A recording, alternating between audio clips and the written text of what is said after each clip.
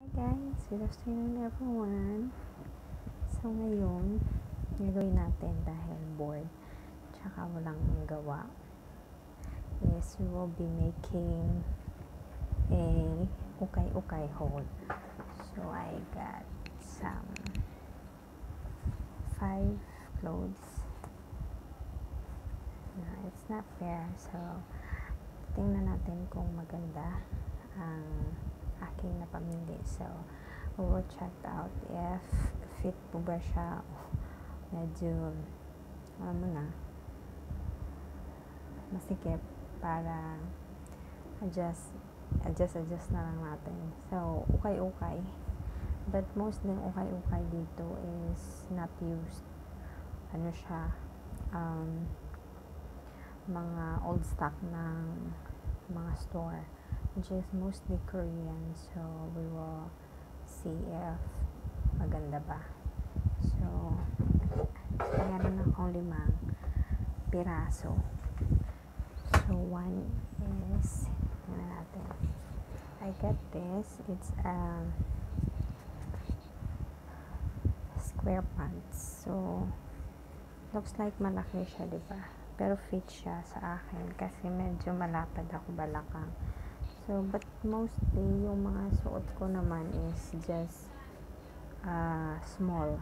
So pag fit sa akin ibig sabihin small yun or kung sa damit little bit medium kasi minsan kasi yung katawan pero yung dibdib hindi yung mga ganun. So this one is a square pants. We will try on kung okay ba siya o hindi so for a moment. So ito siya guys. Kulay old rose ba siya? So fit naman siya. Medyo loose yung sa baba. Tapos dito okay lang. Kasi so I like the color. Yung fit niya tama lang naman. So uh, maybe may konting puson lang. But yeah. It's this is just 20 dollars. So sa atin mga 100 plus. Pero never been used pa siya. Parang old stock lang. So yeah next is we will try this one. Para siyang pedal sa atin. Looks like it's a skirt but it's not kasi ano lang siya. Ayan siya parang short na wide so I'll try this on. Kung ano ang kanyang fitting sa akin. So this is the second one. Ano maiksi lang kasi siya. So put it here maiksi siya yung ganyan siya.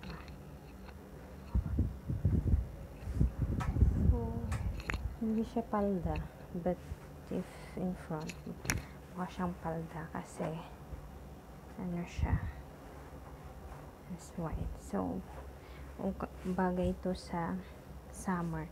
Actually may repair akong konti dito kasi naputol yung garter. So pinagdugtong ko lang. So this is just 10 dollars? Nakuha ko. So bagay sa panahon ngayon dahil summer siya. So only white t-shirt okay na siya isang outfit na.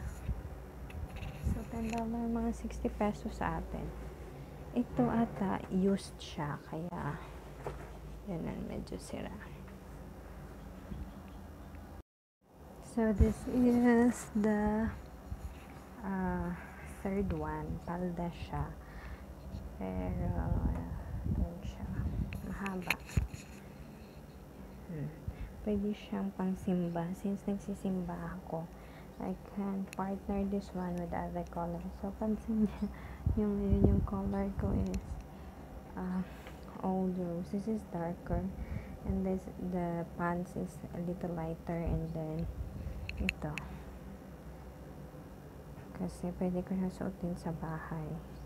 This this one is 20 dollars. And then this is uh, tawag dito just 10 kasi malapit na rin winter so pwede ko siyang suotin kahit pambahay lang or pants and this one pang gala din pwede Kasi, malapit na rin. So, that's a bunny. So, hindi ko na to i-fit. This one is $10 and this is $20. Next is yung binili kong Korean dress. So, ito yung itsura niya. Uh, gusto ko yung gusto ko yung itsura niya sa baba. Kasi this one maganda siya. Kahit natanggalin mo tong taas pwede na siyang magiging outfit again. Gawin siyang jumper na palda. So ito yung back. So ito try natin kung ano yung magiging itsura niya kung i-fit ko hopefully okay So guys, ito yung last na damit.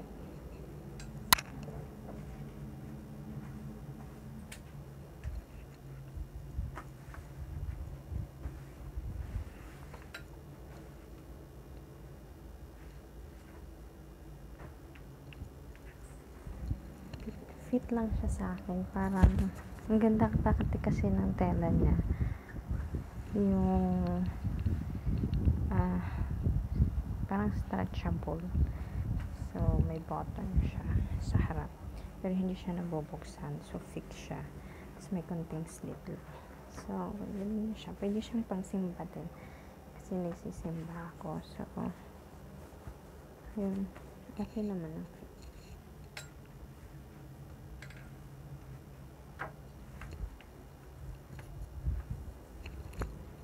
So, yun guys, yun lang yung, uh, yung ating haul. Ito, yung dress. Tapos, ito siya, palda. Actually, pencil siya na may slit sa likod. So, yun. Mahaba, medyo mahaba, pero parang overlap siya, kaya hindi masyado nakikita yung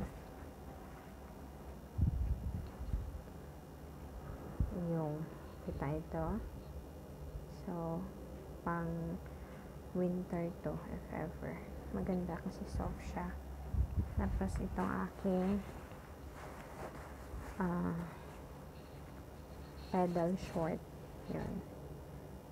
Which is okay siya ngayon sa panahon para medyo presko yung hita tapos ito yung yun. so ito, ito. At saka yung Tsaka ito is tagto $20. So, 62. Tapos, itong dalawa, ito, 10. At saka ito, 10 din. So, $80. So, yun yung expenses ko sa aking um, ukay haul na ginawa ko nung last Sunday. So, walang masama kung sumuot tayo ng ukay.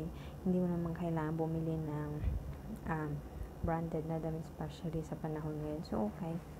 Ito, ano din to eh, um, parang old, ano nila, stocks or wala nang may nag-fit. Kaya, nilagay nila sa ukay. So, mamili ka lang. Tapos, pwede mo rin i-fit.